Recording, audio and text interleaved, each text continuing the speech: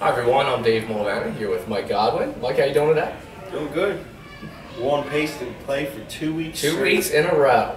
I'm excited. I can't wait for Ortiz to joke on Facebook about something. Yeah, it's, he's probably gonna say something like it's too sunny out. Yeah, it's too sunny out. We can't see or something. Yeah, RT, he's such a jokester. Yeah. I, I can't get I can't get enough of him.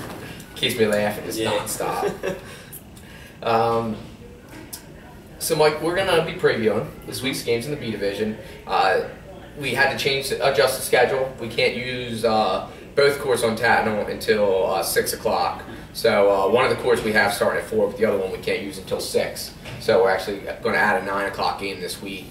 Um, that just makes it so we don't have to do the, the three court thing at Tatnall like we had to do a few weeks ago. Well, probably like a month ago now. Um, so make sure we just adjusted the schedule earlier in the week um, on the website. So make sure you check that out. Uh, and you know, if you looked at the schedule a week ago, don't don't go off that because it's, it's been changed. All right. First up, Mike, in the uh, in the B division. If I had it up, that would help.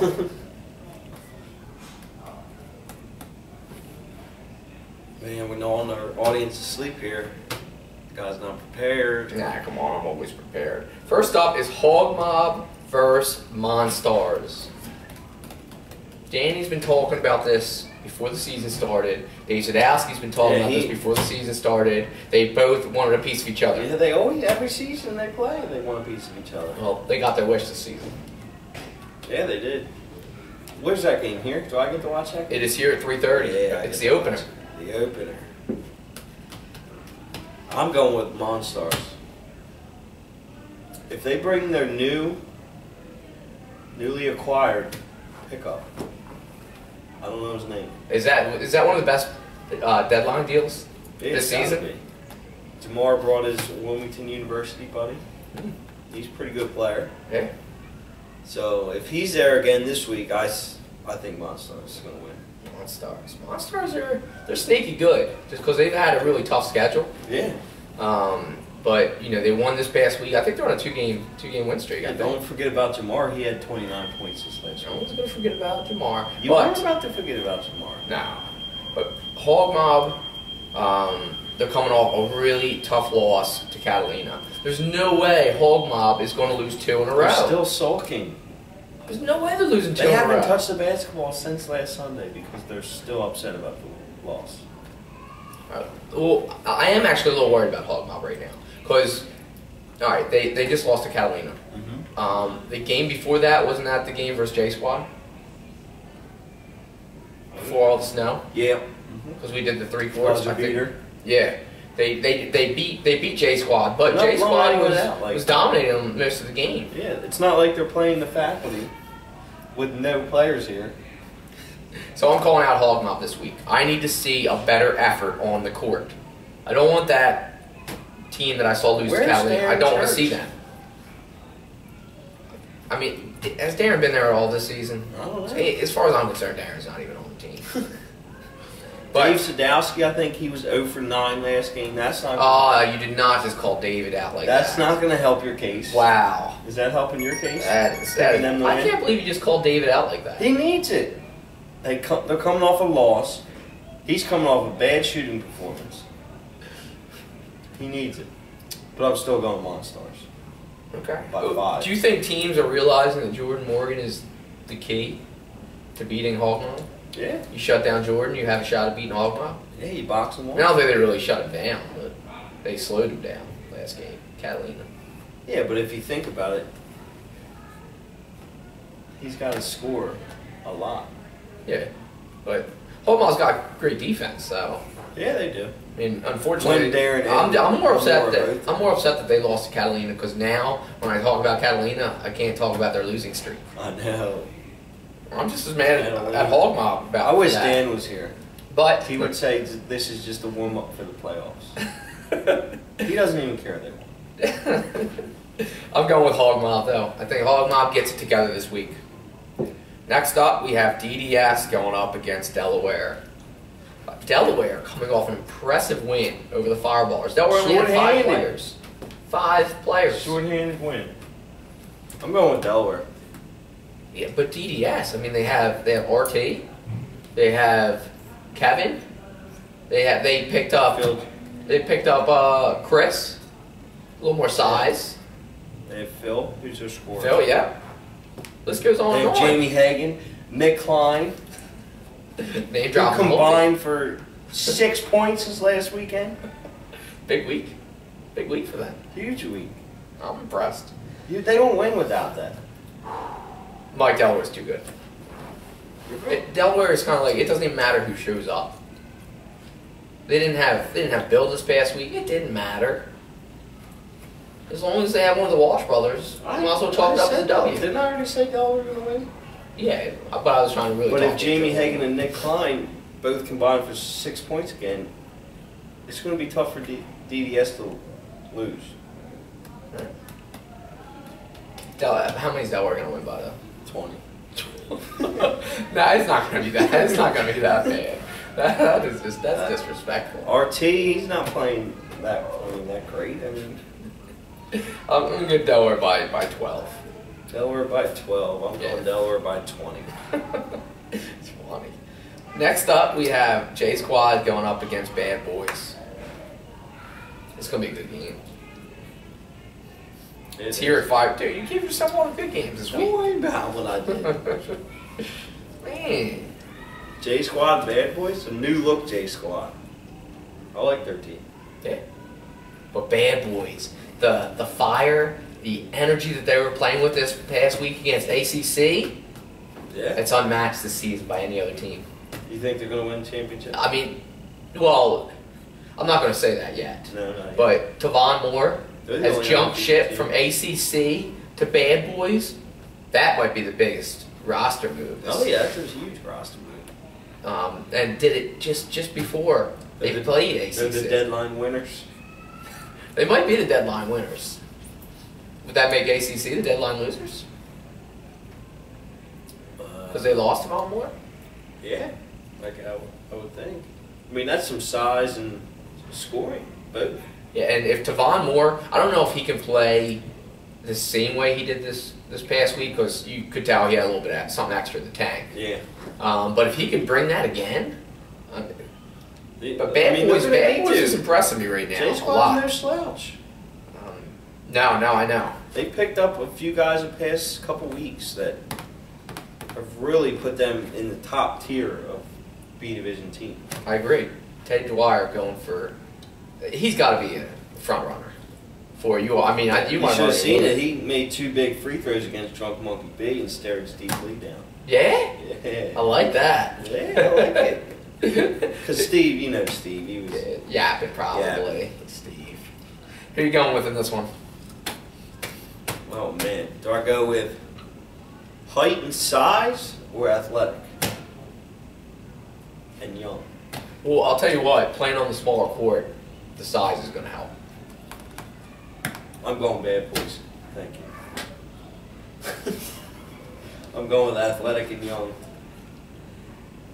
Um, I have a feeling J Squad's going to take this one. Yeah. Yeah.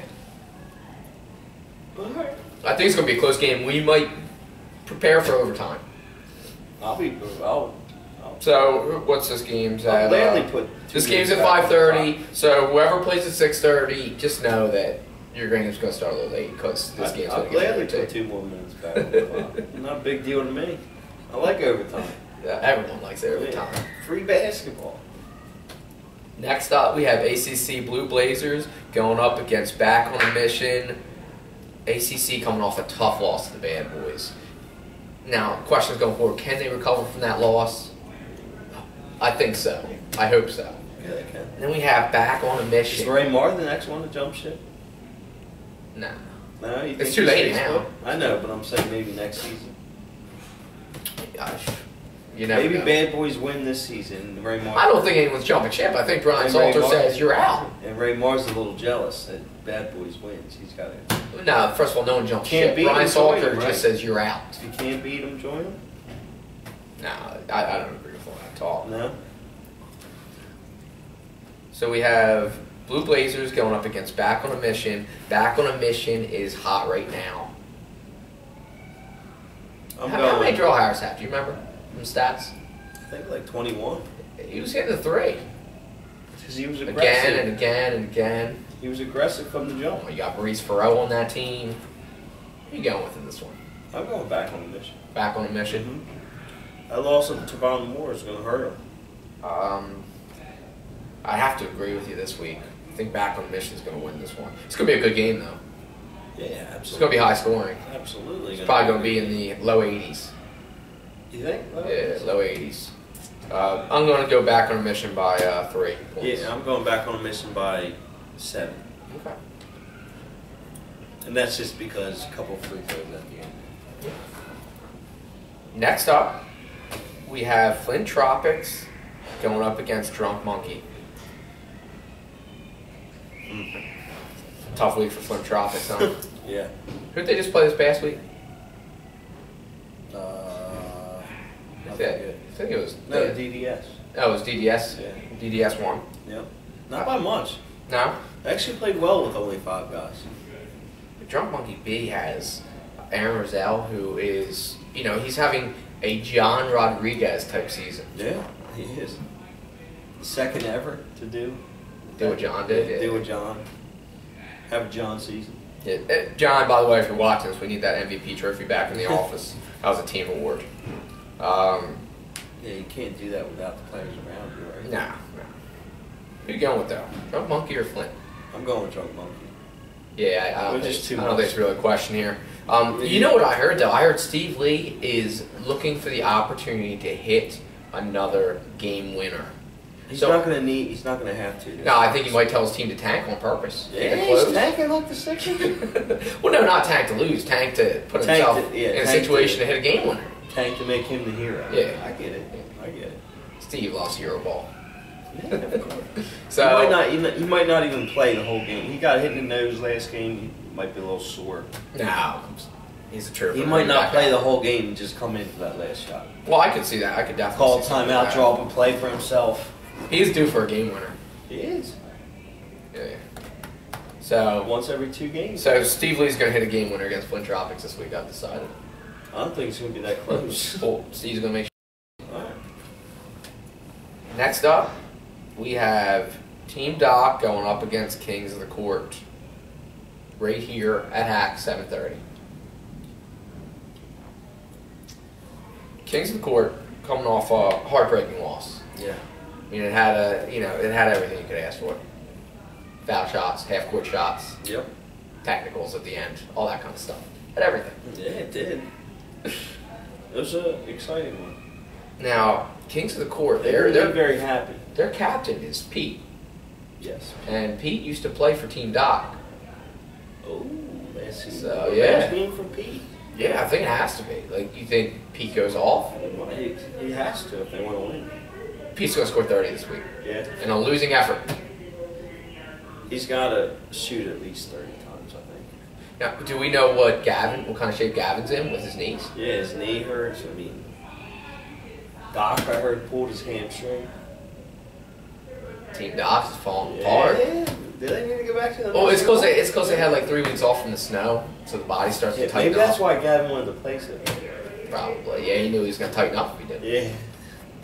But I'm going Team Doc. Yeah, Team Doc's gonna win this game by 10, but Pete's dropping 30. I was going to say 12.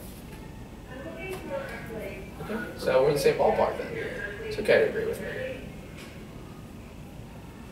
Next up. Kings of the Court's going to have to make a lot of shots. Yeah. I mean, is this, you know, you, you look at Team Doc, though, they, they have a bunch of scorers. Mark London, You think Lamont Pete, Corey, Pete Doc himself, Pete Vince just shoot from half court? maybe. See, I've always wanted to add, like, the half-court shot ties the game up. No matter what. Yeah, it just ties it up. I, I don't like that. If you're down 30, just get It wasn't my idea. I played a game like shot. that. Played a game like that where it was just pick up basketball where it was rules like that in high school. Just Yeah. messing around, yeah. Right. So- I don't like that. Down 30, hit a half court, right tie back ball game. game. Tie ball game. On this court though, on the half court, it might have to be from the other team's three point. just just so it's not too easy. Next up, we have La Familia going up against the Fireballers. What is going on with the Fireballers? They lost this past week. Go on the skid. It's because I wasn't on the show to predict them to win. So they, they had nothing to play for. Uh, You know what? I wish it was the other way around. That you just talked about them so much that they lost. It's No, not. no, it's it's not. It's it actually is because you've been talking about it for five seasons. Yeah, well, I knew I saw Non-stop, I saw like you know where the head fireballers are right now. I saw this day coming. When they were just gonna be- exploding and fireballs are coming out because you talked about them so much. Listen, La Familia, Go ahead. they go had they ahead. had they had a tough loss versus Team Doc this past week. Uh, now they run into the Fireballers, the legendary Fireballers. They're not legendary. What They have they done to be legendary? They haven't won anything. They're, they're first game of the season. They knocked off the champs. They knocked off the champs, but have they won a championship? They will this season. Oh, okay. Fireballers are going to win this season No, they're not. as long as they don't have to play Delaware again. I'll bet you ten bucks they don't. Oh yeah, you're going to take That's the field. Great. Bet you lunch. Bet you lunch on it. Oh yeah, on one team. Come on. You're saying they're gonna win? No, I gotta get. It's gotta be like three to one odds or something. All right. Three lunches for you, one for me. All right, deal. Yeah. Deal. So, Fireballers. I'm picking them again this week, so we know they're gonna win. Fireballers by how many? I'm picking them this week. Yeah, you're picking them every week. Not not every week. I'm picking them this week because La Familia is struggling right now. So I'm picking them. I'm going Fireballers by 13. Yeah, Fireballers by 17 this week. Next up, we have Catalina Wine Mixers going up against the Wilmington Warriors. Catalina is coming off a huge win. Huge. Over the Fireballers. I mean, over, um, over, uh, Hogma. Hogma. We were just talking about the Fireballers. Threw me off a little bit. Um, this is the week, Dave. This is the week. That. Wilmington Warriors gets their I, I knew you were going to say, I knew that's This where is you were the going with it. Past the halfway point, all the bad stuff, put it behind them. They put it behind them. This is the week. Yeah, I think Rel's going to go off. Yeah. Um, give him, let's give him I'll give him 15, 15. 15 7 and 5. Yeah. I like that. 15 stuff. 7 and 5. Um, and I think Catalina, I think their win, I, I don't want to call it a fluke, but it was a fluke. I'm not mad. I'm not mad about it. I Uh, always like giving Dan Schultz all the time. I, I miss him on the show. yeah, it's, it's not the same without him to come back at us I know. after we give him a hard time. Well, mostly it was you. I felt like I was like you guys from fighting half the show. Well, That's why I had to sit in the middle. Maybe they've been losing because Dan Schultz always used to give his game plan away. to the other team? yeah, the other team the other exactly team's watching. You're giving your game plan away. so I'm going. Who they playing? Catalina and Wilmington Warriors. Oh, yeah, that's right. I'm going Wilmington Warriors by three. Uh, I'm going Wilmington Warriors by nine. Nine. Yeah, nine. Rel, don't let us down. Nah, he Both? won't. He won't. This is the first week we both picked them to win. Yeah. Well, Or I haven't mean, picked them at all. So yeah. they can't let us down. And every time we picked them to lose, they lost. Yeah. So now when we pick them to win, we expect the same results. So I might, if they lose, I might have to jump off the bandwagon. Well, I, I don't think I don't think I'm on the bandwagon. I think I'm just Well, if you off pick them- Catalina's band. I mean, Catalina has people like Chris. If Chris you pick them to win, you're you're you got one foot on at least. No, the bandwagon. Ca- Catalina has people like Chris Rohrer running around out there. He's a pickup basketball player. He's he's a one shot a game guy. I like what I notice. He he doesn't do much in the games here, but when I play with him in pickup, he dominates. Yeah. Yeah. Well, that's because you're probably guarding him, He's on my team. but you're still probably trying to guard him. Doesn't make sense. I Ever play pickup with this guy? I Doesn't know what he's doing. No, I just give him a great pass to where he needs it to make the shot. Yeah, I I mean, Chris is on. Chris is in their starting line. Come on. Defense, I guess. No, I, I I think I think it's like a rock paper scissors thing. That's probably what it has to be. Does Dan Schultz crack the starting lineup? Uh, I don't know. I don't think he did this past week. Not sure if maybe it depends on who they're playing. But I can see Dan start against the Wilmington Warriors. Well, what do you think? If he was here, what do you think his game plan would be? He would say, We have more size than them, so we're going to go down low, but we're not going to shoot down low. We're going to kick it back out to me for three. He's- So the Wilmington Warriors would just guard everybody. Like, yeah, no problem. Yeah. I know they'll. So that when they kick it down low, they'll double team Dan, and No points for Catalina. Easily. Game plan out there already. See? There you have it. All right. We're all finished? Yeah, last one. Thanks for checking us out this week. Uh, we'll see everyone on Sunday. Cross our fingers two weeks in a row. Yeah, no snow. Um, that's all I got. What if we it was just like zero degrees on Sunday? Well, as long as it's not snowing. Knock on wood. As long as it's not snowing, weed. Yeah, but it's supposed to rain on Saturday. True. Ice. Don't talk like that. On wood. All right, that'll wrap it up this week. Um, see everybody on Sunday. Looking forward to another great week of basketball. Yeah. See that little double Always. fist bump I gave? Real pumped.